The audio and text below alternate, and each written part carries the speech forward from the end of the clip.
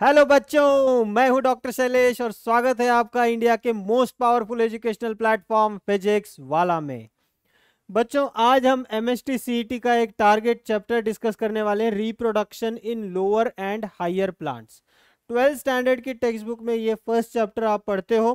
इस चैप्टर में आज हम डिस्कस करेंगे कि आपको इसमें क्या समझ लेना है, किस तरीके से इस चैप्टर को पढ़ना है प्रिपरेशन कैसे करनी है, ठीक है? So reproduction in lower and higher plants इस चैप्टर को आज की क्लास में हम डिटेल में डिस्कस करने वाले हैं। So let start looking at this chapter और इसका टाइटल ही आपको इंडिकेट करता है कि इसमें आप प्लांट्स में होने वाले रिप्रोडक्शन और लोअर ऑर्गेनिज्म के रिप्रोडक्शन की हम इस चैप्टर में बात करते हैं, ठीक है? तो सबसे पहले असेक्सुअल रिप्रोडक्शन यहाँ पे आ जाता है। तो reproduction is the act of perpetuation of the species तो उसमें दो टाइप का रिप्रोडक्शन होता है सेक्सुअल एसेक्सुअल रिप्रोडक्शन होता है। जब हम प्लांट्स की बात कर रहे हैं तो प्लांट में एसेक्सुअल रिप्रोडक्शन के साथ साथ सेक्सुअल रिप्रोडक्शन हायर प्लांट्स में, जिनमें फ्लावर्स होते हैं, उनमें सेक्सुअल रिप्रोडक्शन भी होता है। तो फिर इसमें सबसे पहले आप क्या पढ़ते हो? असेक्सुअल रिप्रोडक्शन फिर उसके आप अलग अलग टाइप्स पढ़ते हो कि लोअर ऑर्गेनिजम्स में लोअर लाइक प्लांट्स में ऑर्गेनिजम्स में किस तरीके से असेक्सुअल रिप्रोडक्शन होता है? तो इसमें सबसे पहले आपने पढ़ा हुआ है फ्रैगमेंटेशन फ्रैगमेंटेशन का एग्ज़ाम्पल आपने क्या पढ़ रखा है? टेक्स्ट बुक में स्पायरोगायरा स्पायरोगायरा में फ्रैगमेंटेशन होती है। इसका मतलब क्या? जो ऑर्गेनिज्म होता है स्पायरोगायरा स्पायरोगायरा का अगर आपने दो पार्ट कर दिए तो फिर वो फिर से each fragment can reproduce right and that is called fragmentation फिर बडिंग आपने पढ़ा हुआ है। बडिंग का एग्ज़ाम्पल आपने क्या पढ़ा हुआ है? ईस्ट में बडिंग होती है हाइड्रा में बडिंग होती है। ये कुछ एग्जाम्पल्स आपको याद रख लेने ठीक है? स्पोर फॉर्मेशन में आपने क्या पढ़ा हुआ है? क्लेमाइडोमोनास क्लेमाइडोमोनास क्लेमाइडोमोनास में जूस्पोर्स का फॉर्मेशन होता है, जिससे उनका सेक्सुअल रिप्रोडक्शन होता है। तो ये आपको बहुत ही बेसिक है। एक्चुअली ये मेन कोर चैप्टर का पार्ट नहीं है। बेसिक बेसिक है जो बस पता होना चाहिए तो वो आपको पढ़ लेना है। वेजिटेटिव रिप्रोडक्शन ये यहाँ पे थोड़ा चैप्टर रिलेटेड है कि प्लांट से रिलेटेड है ये। इसमें आप तीन इंपॉर्टेंट चीज़ें देखते हो बेटा। जैसे कि एक है कटिंग दूसरा है ग्राफ्टिंग और तीसरा है टिश्यू कल्चर तो तीनों आपको पढ़ने हैं। कटिंग में क्या होता है कि एक ऐसा हम शॉर्ट पीस ले लेते हैं, किसी प्लांट का ब्रांच ले लेते हैं, जिसके अंदर उसका नोड इंटर नोड्स होते हैं ना प्लांट के सरफेस पे तो नोड वाला पार्ट लेना है, उसके अंदर एक्सिलरी बर्ड्स होते हैं, और ऐसे कटिंग्स को आप यूज़ करोगे तो नया प्लांट उससे बन सकता है। ग्राफ्टिंग में आपने दो टर्म्स याद रखने हैं, एक टर्म होता है स्टॉक और एक होता है सियोन सियोन जो होता है, इसे स्टॉक के ऊपर हम लगा देते हैं। जैसे ये ये प्लांट ए है, सपोज़। प्लांट ए के सरफेस पर प्लांट बी को ग्राफ्ट किया जाता है, इस तरीके से। सो, प्लांट ए के सरफेस पर प्लांट बी को ग्राफ्ट करके इस तरीके से भी हम वेजिटेटिव रिप्रोडक्शन प्लांट में करवाते हैं। और इसे ग्राफ्टिंग कहा जाता है। जो नीचे पार्ट यूज़ होता है, उसे स्टॉक कहते हैं और जो ऊपर हम प्लांट करते हैं, उसे सियोन कहते हैं।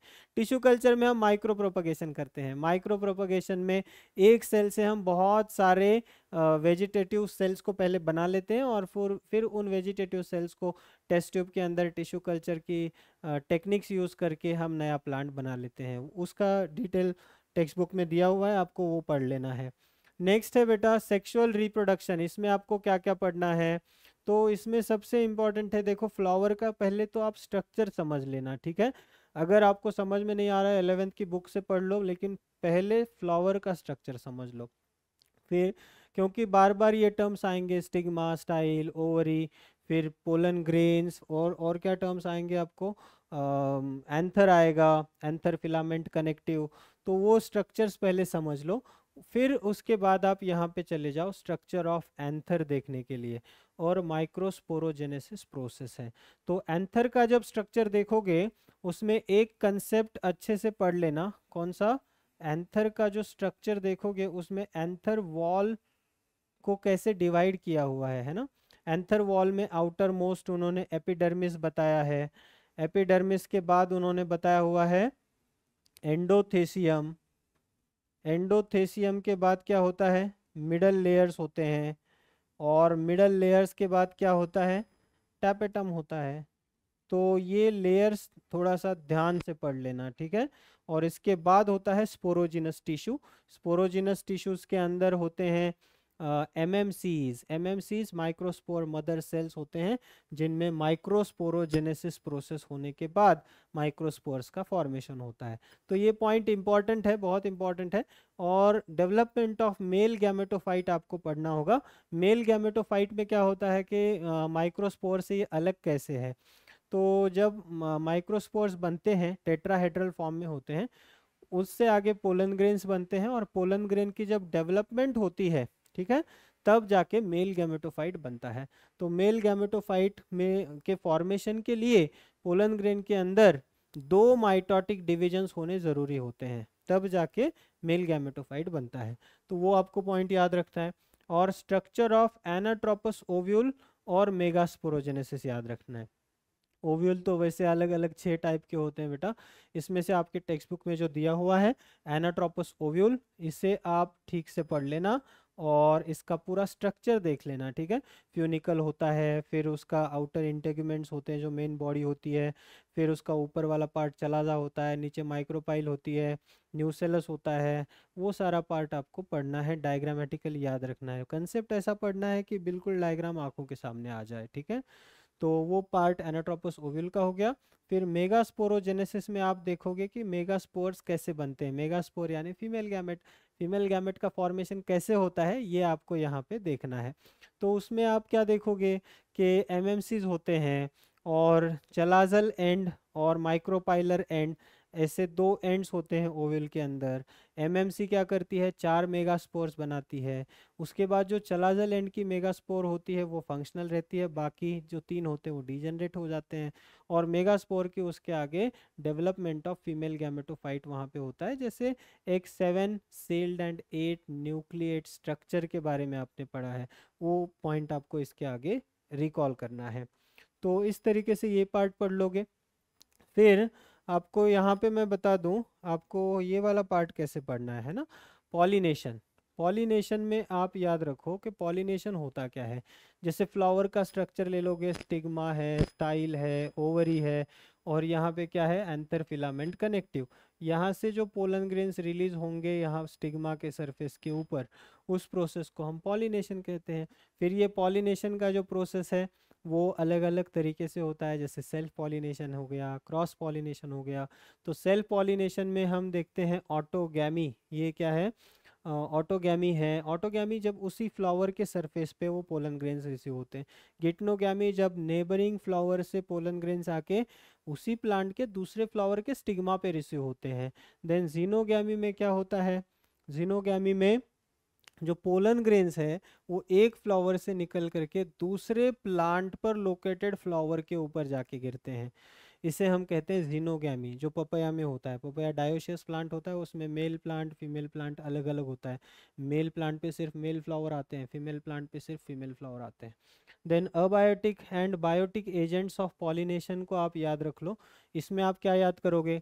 जैसे इसको आप दो तरीके से पढ़ोगे, है ना? अबायोटिक एजेंट्स यानी सारे non living agents and biotic agents यानी सारे living agents so living and non living so non living agents में आएगा आपका एयर विंड है ना?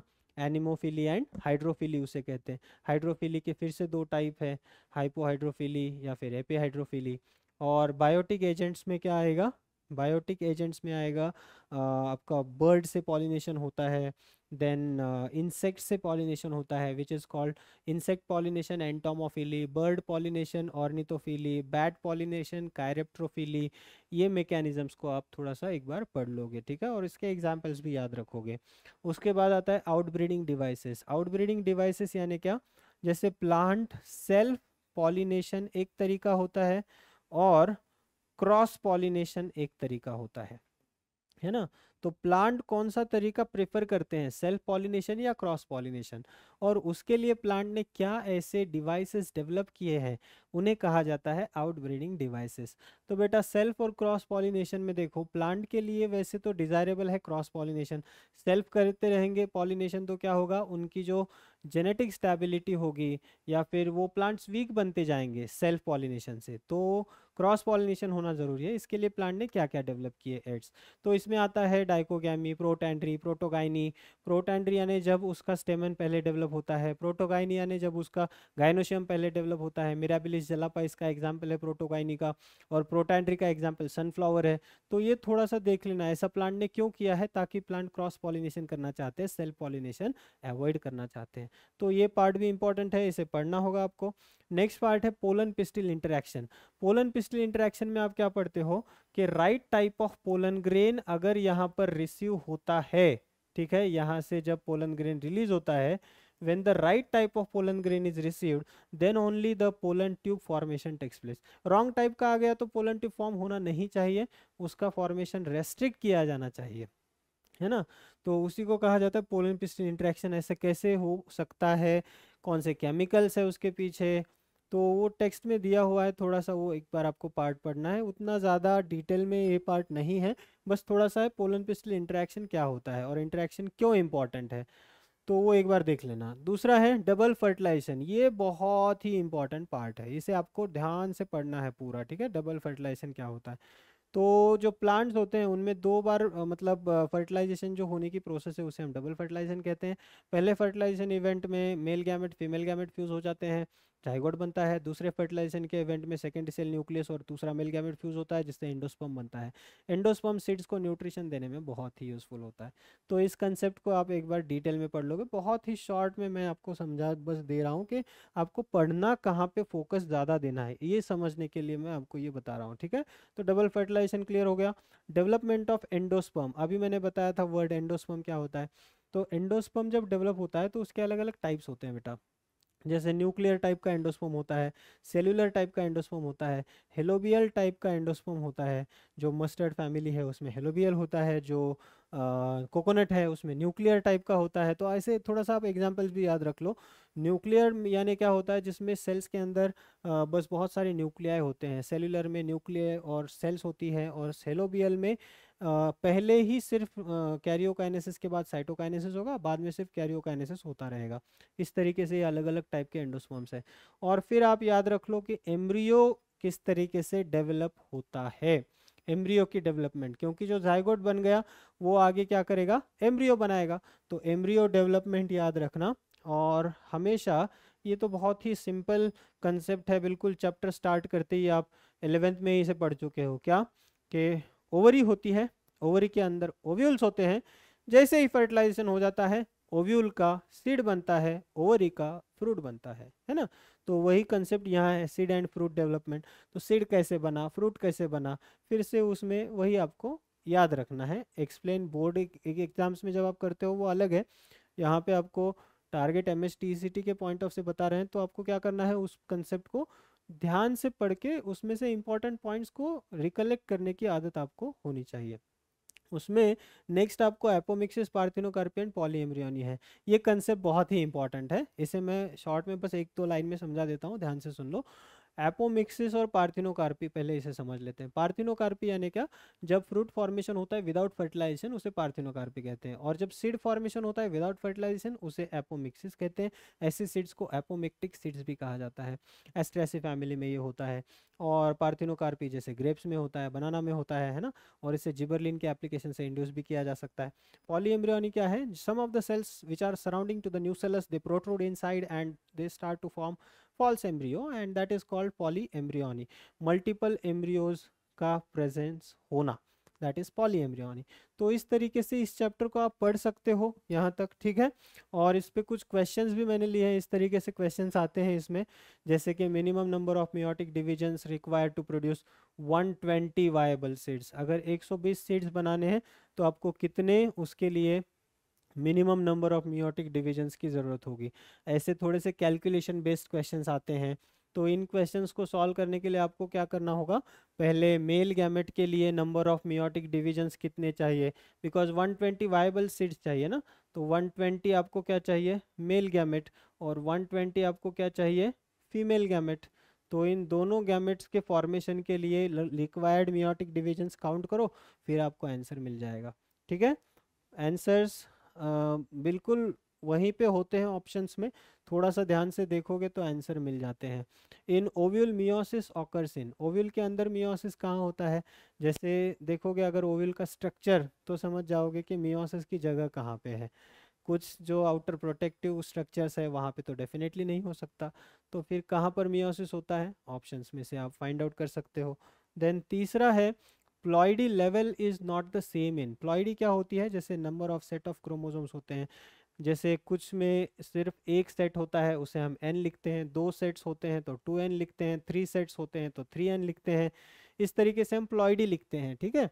तो प्लॉइडी यहाँ पे क्वेश्चन पूछा गया है कि way in the ploidy level is not the same in किस, कौन से दो में प्लॉइडी सेम नहीं है? तो वो आप पता कर सकते हो। उसके लिए पहले आपको स्ट्रक्चर और उसका प्लॉइडी पता होना चाहिए। डिटेल स्टडी करने के बाद ये पता चल पाएगा, है ना? तो उसके बाद ही इसका आंसर भी आप इजीली पता कर सकते हो।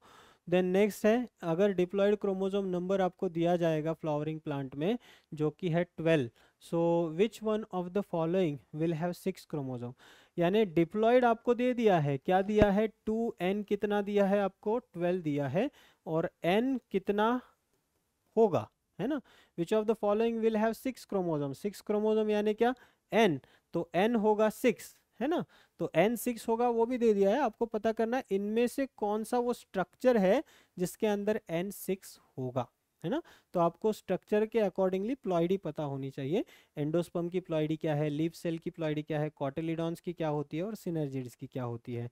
तो प्लॉइडी लेवल्स आपको कैसे पता चलेंगे, है ना? तो वहाँ पर डायग्राम में भी दिया हुआ है डबल फर्टिलाइजेशन की डायग्राम में, एक बार आप देख सकते हो। तो वहाँ से भी आपको इसका आंसर का हिंट मिल जाएगा। और ये क्वेश्चन फिर से कैलकुलेशन बेस्ड क्वेश्चन है। जैसे अगर आपको 500 पोलन ग्रेन्स बनाने हैं, है ना तो how many microspore mother cells are required अब ऐसे क्वेश्चंस जो कि बायोलॉजी के क्वेश्चंस है बॉटनी के क्वेश्चंस है, अगर ऐसे क्वेश्चंस आपको सीटी में आ जाते हैं नीट में आ जाते हैं तो क्या होता है? आपका ज़्यादा टाइम कैलकुलेशंस करने में चला जाता है और टाइम वेस्ट हो जाता है। तो this is called time wasting question तो टाइम वेस्ट नहीं करना है आपको ऐसे क्वेश्चंस में। आपको पता है तो ही अंदर जाओ, जल्दी से आंसर निकालो और बाहर आ जाओ। अदरवाइज़ ये आपका इतना टाइम खा जाएगा आंसर भी नहीं आएगा और सब किया धरा रह जाएगा। ठीक है? तो इसीलिए जब ऐसे क्वेश्चंस आते हैं सॉल्व करने में बहुत ही सिंपल होते हैं, बहुत ही सिंपल ट्रिक लगा के आप सॉल्व कर सकते हो। कंसेप्ट क्लियर होगा तो आंसर बहुत जल्दी आ जाता है। मगर, बहुत सारे बच्चे ऐसे होते हैं कि मैथमेटिक्स वाला क्वेश्चन बायोलॉजी में देख के ही डर जाते हैं और उसको सॉल्व नहीं करते हैं। ऐसे नहीं करना है, पहले पढ़ तो लो क्वेश्चन हो सकता है बहुत सिंपल है ठीक है? बस मैथमेटिकल टर्म्स में पूछा गया है, लेकिन सिंपल क्वेश्चन है, ऐसा भी हो सकता है। तो ऐसे क्वेश्चंस में आप अपना पेशेंस नहीं खोना है, कॉन्फिडेंस नहीं खोना है, कॉन्फिडेंटली पहले क्वेश्चन को रीड करो, आंसर आता है क्या सोचो, डेफिनेटली आपको उसका आंसर आ जाएगा, ठीक है? तो ये क्वेश्चन है, to produce 500 hundred pollen how many microspore mother cells are required, microspore mother cells जिन्हें हम एम एम सी कहते हैं। तो ऐसे कितने एम एम सीज रिक्वायर्ड होंगे? 500 पोलन ग्रेन्स अगर हमें बनाने हैं। तो ऐसे कैलकुलेशन बेस्ड क्वेश्चंस भी आ सकते हैं। सो so, इस तरीके से आप इस चैप्टर को प्रिपेयर करो स्टूडेंट्स ठीक है? और बहुत सारे मल्टीपल जो क्वेश्चंस देखो उन्हें सॉल्व करो और जितना ज़्यादा आप उसमें रिविजन्स करोगे उतना ही ज़्यादा आप ऐसे चैप्टर्स में मास्टरी गेन कर पाओगे एक्सपर्टाइज गेन कर पाओगे। ठीक है? तो आज के लिए इस चैप्टर का एक क्विक रिव्यू इतना ही था। Will see you in the next class तब तक के लिए थैंक यू स्टूडेंट्स